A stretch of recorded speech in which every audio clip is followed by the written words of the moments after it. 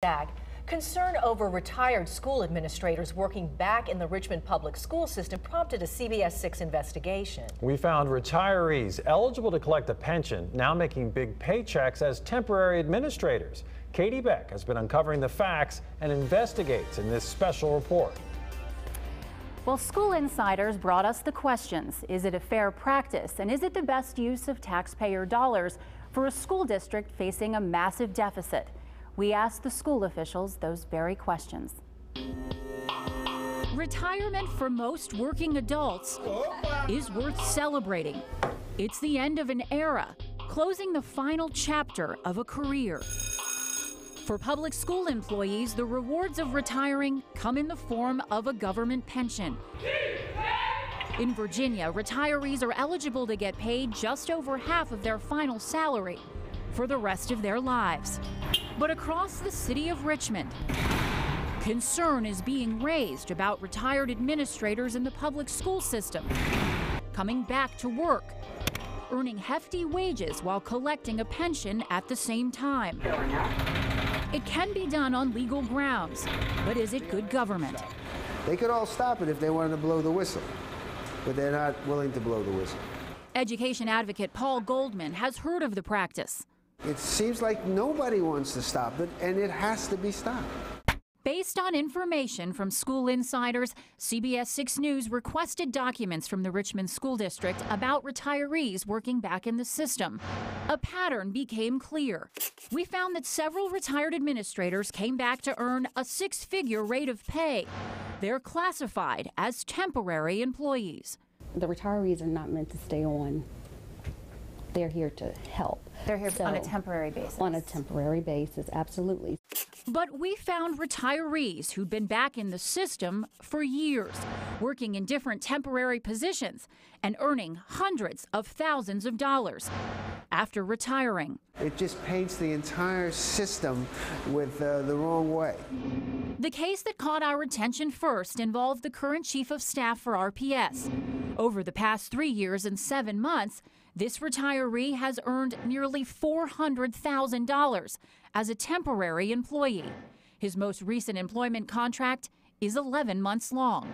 He's classified as temporary, and we wonder how that is. It's clearly not a temporary position. Well, I really can't speak to that because I'm not sure exactly how many hours or how, what percentage of the position um, that particular person is, is working. When you look at an org chart, it says superintendent, mm -hmm. chief of staff right underneath. Mm -hmm. He has an office here. He has a parking spot at City Hall. Mm -hmm. it, it just, it, it's not perplexing to you how that can be and still be classified as a temporary part-time employee. It's not a matter of the office space. It's not a matter of having parking.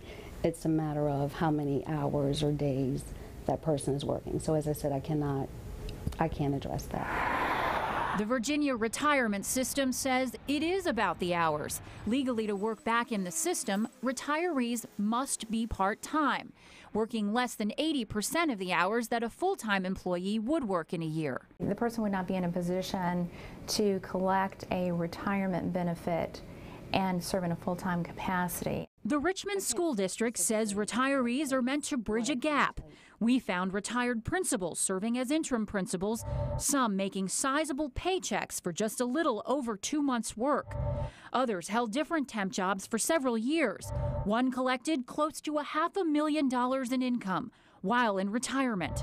There have been other people that have been retired for six months and come back into the system and are making exactly the same rate of pay that they did when they were a principal or they were an assistant principal. Our use of retirees we've based on, of course, continuing the continuity of a, of a office, um, of a school, which is very critical when we talk about student achievement. This was just bridging a gap. Mm -hmm you know, why am I looking at someone's pay rate over the past seven years? Mm -hmm. You know, I mean, there's there's people that well, have been who's, who's filling uh, maybe, and I I don't filling I don't know what you're years. right. Well, filling different needs. There's only so much you can cut. City Councilman Charles Samuels is questioning that philosophy.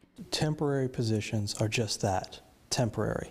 We got a million dollars less in state revenue. Especially after RPS has been trying desperately to cut the budget for weeks It fluctuates. to fix a $24 million deficit. Samuel says he'd rather see cuts at the top than from the classroom. When you're doing something like this, if you are knowingly doing it, you're doing wrong.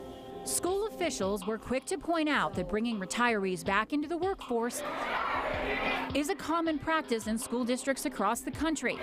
In fact, nothing that we found could be proven illegal. But questions over fairness and careful spending remain. You're allowing these other abusive double-dip practices. I think certain people would view this practice as double dipping. I think certain people would see this as taking a pension and taking a salary at the same time. I've already told you how, how we see it. While the district doesn't see it that way, they tell us the superintendent is looking into it. We are indeed reviewing our practices and our procedures when it comes to how we use retirees. Samuel says a review is well overdue. I'm angered. I'm frustrated. I'm downright mad. Now, we requested an interview with Superintendent Dr. Yvonne Brandon for the story, but were told she was too busy dealing with the school's budget decisions. Several attempts to also speak with the RPS Chief of Staff went unreturned. We asked for a list of all retirees working in the Richmond Public School System, and today we were provided a list of 332 names. Using the RPS online employee, employee database, we estimate that 15% of the RPS workforce are retirees. Bill? Thank you, Katie. And you can find this entire investigation online with some web extras at WTVR.com. Make sure to share this story as well. CBS 6